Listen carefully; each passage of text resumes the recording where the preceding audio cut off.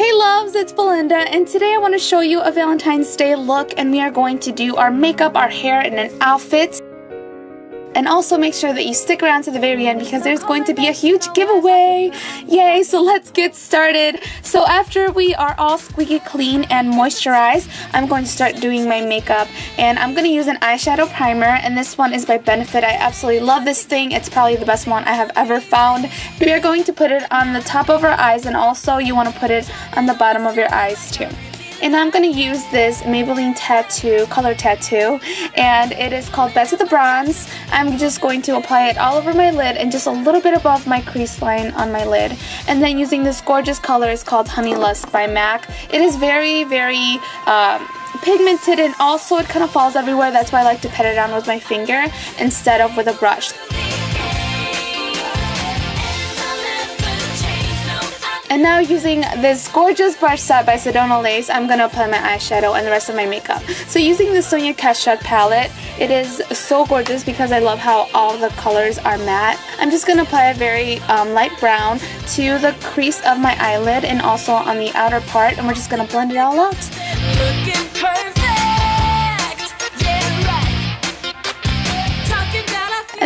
Darker shade, this is like I think one of the darkest browns that it has, I'm just to make sure that I concentrate on the outside of my lid.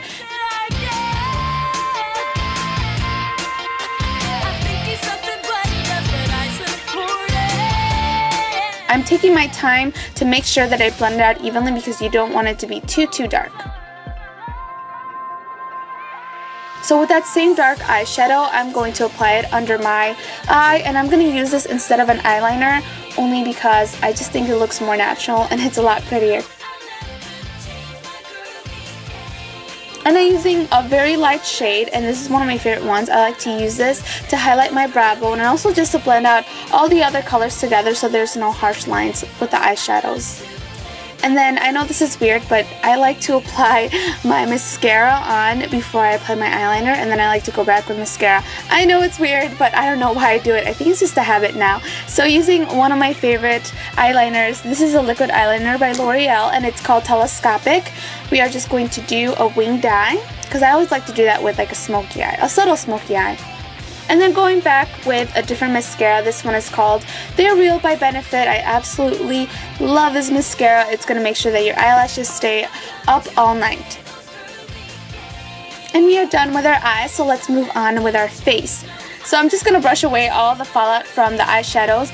So now it's time to conceal and this is the best concealer ever because it is full coverage and that way you don't have to use much of foundation on the rest of your face. So I just like to dab it under my eyes and I like to pat it because the warmth of my finger is going to make sure that it goes really nicely underneath my eyes, around my nose and also in the dark spots like around my mouth. And now using a very light powdered foundation. I'm going to apply this to the rest of my face just to make sure that I'm not oily. And I like to con mostly concentrate underneath my eyes where I applied that concealer before just to make sure that it stays on there and that it's not going to crease or anything like that because we don't want any creasing under the eyes.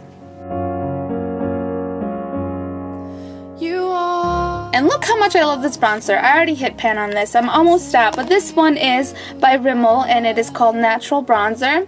And I'm just going to apply this to the hollows of my cheek just to give me some definition in my cheeks and also just to make sure that I don't look so pale, especially like on my temples of my face. It's going to make your face look nice and chiseled and just give you a little bit more color without having to do this to your whole face.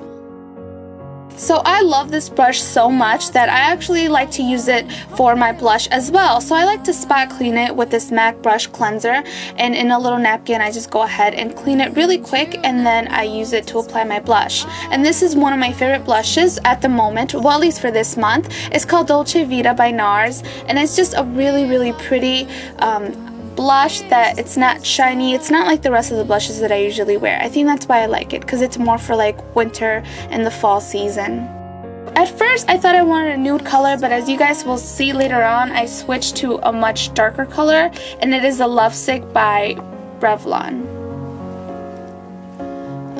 Okay, so we are all done with our makeup. Let's move on to our hair. And I'm going to be using these two tools that I absolutely love. First is a hair dryer that I just love this hair dryer. It doesn't make my hair frizzy and my hair does not blow all over the place and it dries it very quickly.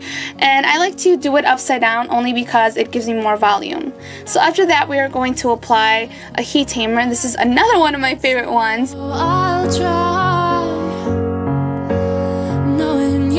Okay, so we're going to go ahead and brush our heat tamer in just to make sure that it's nice and even. And then the first tip that I have for you guys uh, when it comes to doing curling your hair is to make sure that you do the back first. The reason for that is because then you're not going to have an uneven in the back and it's not going to look funny. And it's also going to give volume if you start at the root on the top. And I learned this a long time ago and I've been doing it ever since so the back of your hair does not look ugly or bad. And then I love this wand because it is so, so fast and it just makes your curls look really nice without taking too much time on them. So I'm just going to curl away from my face and I like to do one side at a time, just random pieces.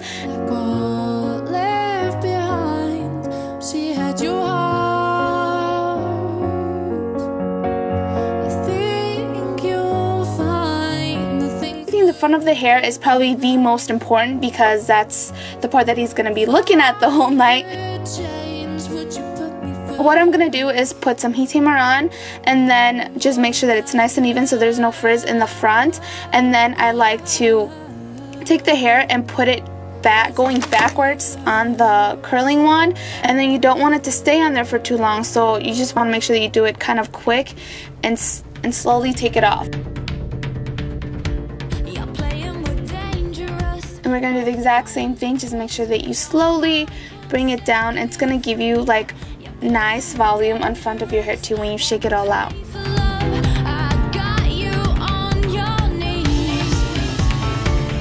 Now for our outfit, I am wearing this gorgeous dress by SheInside.com. It's so gorgeous. I love the scalloping at the bottom and how it cinches your waist. And also, I'm going to pair it with this gorgeous pink jacket. Of course, it's Valentine's Day. You have to wear some kind of pink. And this one is from Forever 21. And this was a gift from my love, Melanie. She also has a YouTube channel. I will link them down below as well.